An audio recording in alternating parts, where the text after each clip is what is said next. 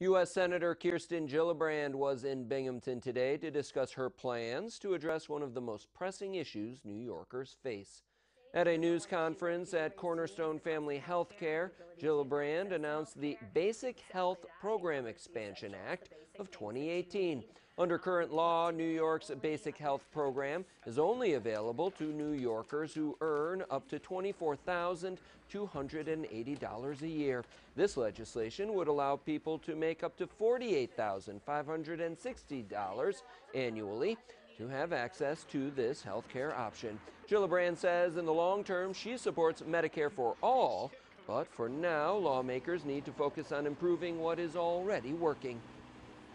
If they're not eligible for basic health care, they can't afford health care. Uh, unfortunately, the insurance industry's goals are to make money. They are for profit companies. They have to have shareholder value. They have to have quarterly returns. They pay their CEOs millions of dollars. And that money should be going directly for health care. The basic health care program is a health benefit program for low income people who would otherwise qualify for premium subsidies to help them purchase insurance. New York State is one of the only states that has adopted this program to lower income residents who do not qualify for Medicaid or CHIP.